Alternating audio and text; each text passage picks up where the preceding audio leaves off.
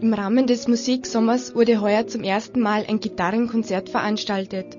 Unter dem Titel Gitarrissimo traten acht namhafte Gitarristen aus dem Hausruck auf. Wie sind Sie zur Gitarre gekommen? Ja, ich spiele eigentlich schon seit zehn oder elf Jahren jetzt Gitarre und habe begonnen in der Musikschule in Gaskirchen, wie glaube ich einige heute Abend. Und ja, das hat sich dann irgendwie so fortgesetzt und ich habe von Anfang an einfach das Instrument geliebt sozusagen. Ja, wir sind beide Studienkollegen. Wir haben beide in Linz am Konservatorium studiert. Der Stefan war dann kurz einmal in Wien und ist dann wieder zurückgekommen. Und dann hat uns unser Lehrer sozusagen eingeladen, einmal das zu zweit zu versuchen. Und seither machen wir das. Und macht auch Spaß, weil man einfach wirklich nicht als Solist herumtingelt, sondern einfach immer wenn zum, zum Reden hat.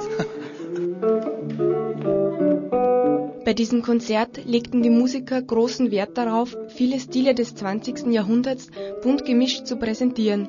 Von Rock bis Flamenco ist auf der Gitarre alles möglich. Versuchen in erster Linie eher in der modernen Musik zu bleiben, wobei wir aber von schräger modernen, wirklich hörbar modernen Musik bis zur eher folkloristisch angehauchten Musik alles Mögliche drinnen haben. Also wir haben eben einen Schwerpunkt wie heute die brasilianische Musik. Von den verschiedenen Stilen, die da heute präsentiert werden, haben Sie da irgendeinen Favoriten? Eher Rock und Blues. Also das, was zum Beispiel auch jetzt gerade performt worden ist von Red Hot Chili Peppers, das gefällt mir sehr gut.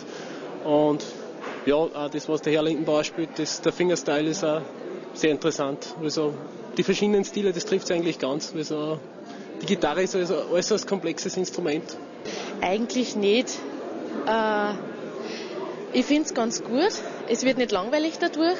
Natürlich gefällt einem das eine oder, eine oder andere besser, das andere nicht so gut, aber den Mix finde ich nicht schlecht. Die Musiker präsentierten ihre Instrumente mit Witz, Gefühl und Kreativität. Sie zeigten, dass sie mit und für die Musik leben. Ich lebe von der Musik, ja. Ja, Musik ist mein Job, mein Hobby. Ist alles, Musik ist mein Leben, kann man sagen. Biene merkt man auf der Bühne so eine Leidenschaft mit der Gitarre, stimmt das? Ja, schon, ja. Ich spiele gern Gitarre, kann man sagen. Ja. Aber ich improvisiere sehr gern. Das hat man eh gehört. Ich habe nur so Vorgaben und spiele dann einfach drauf los und schaue, was passiert. Es war ein bisschen anders wahrscheinlich als bei den Rest heute, weil das mehr Gitarre ist, also mehr komponierte Musik und ich habe ein eigenes Stück gespielt. Was bedeutet die Gitarre für Sie? Warum haben Sie ausgerechnet Gitarre gelernt? Ah ja, das war eine Jugendliebe. Das war ein Rausch mit 14.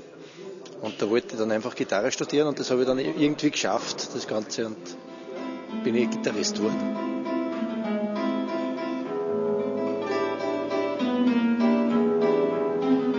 Mit Musikstücken, zum Beispiel von Jimi Hendrix oder den Red Hot Chili Peppers, sprachen die Gitarristen auch das junge Publikum an. Begeistert waren die Besucher aber auch von den Eigenkompositionen.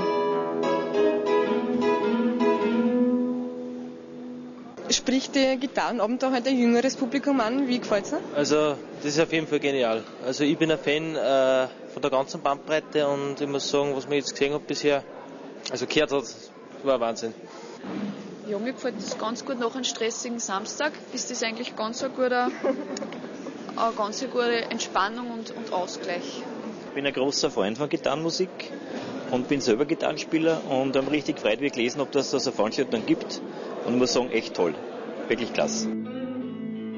Das nächste Konzert des Musiksommers findet ebenfalls im Schloss Parz statt.